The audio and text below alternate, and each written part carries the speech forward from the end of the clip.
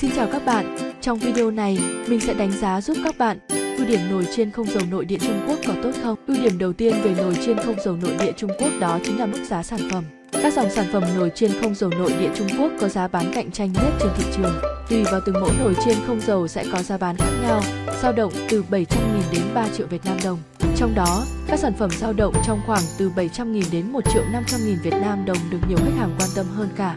Ưu điểm số 2 về nồi chiên không dầu nội địa Trung Quốc đó chính là thiết kế hấp dẫn, bắt mắt. Cho dù phần lớn các sản phẩm nồi chiên không dầu có giá cả bình dân, chúng đều có hình thức hiện đại, sang trọng, chắc chắn với các màu sắc cơ bản như đen, trắng, đỏ. Về mặt công năng, nồi chiên không dầu Trung Quốc được thiết kế để tối ưu luân chuyển nổi khí nóng, giúp thực phẩm chín đều, thơm ngon và không hề bị cháy. Ưu điểm số 3 về nồi chiên không dầu nội địa Trung Quốc đó chính là dung tích. Dung tích nồi chiên không dầu nội địa Trung Quốc thường có dung tích khá lớn. Với dung tích to rộng, giúp người dùng có thể nấu được nhiều món ăn hấp dẫn cho gia đình, phù hợp với gia đình đông người.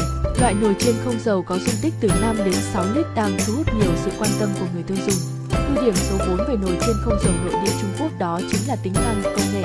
Hầu hết, nồi chiên không dầu chung đều sử dụng công nghệ Savit E, có nghĩa là sử dụng khí nóng để làm chín món ăn. Bên cạnh đó, với công nghệ này, các món ăn được chế biến sẽ loại bỏ rất nhiều mỡ thừa trong thực phẩm mang đến bạn món ngon tốt cho sức khỏe. Ưu điểm số 5 về nồi chiên không dầu nội địa Trung Quốc đó chính là công suất lớn.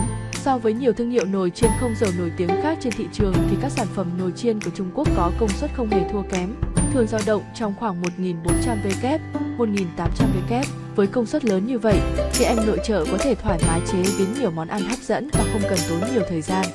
Bạn cũng không cần quá lo ngại về lượng điện tiêu thụ khi sử dụng nồi chiên có công suất lớn như thế này, vì trên thực tế nồi chiên không dầu sử dụng tiền điện ít hơn rất nhiều so với lò nướng.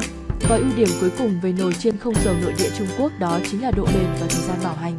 Nồi chiên không dầu nội địa Trung Quốc luôn được kiểm tra nghiêm ngặt trước khi đưa ra thị trường, đảm bảo sự an toàn cho người tiêu dùng. Với chế độ bảo hành dài từ 12 đến 24 tháng tùy vào từng loại nồi, có thể thấy nồi chiên không dầu nội địa Trung hội tụ đầy đủ các yếu tố trở thành người bạn đồng hành cho các bạn nội trợ.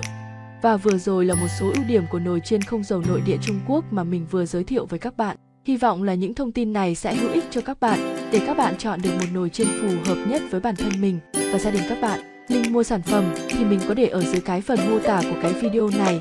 Các bạn vào tham khảo nhé. Và cái video của mình đến đây là hết. Xin chào các bạn và hẹn gặp lại.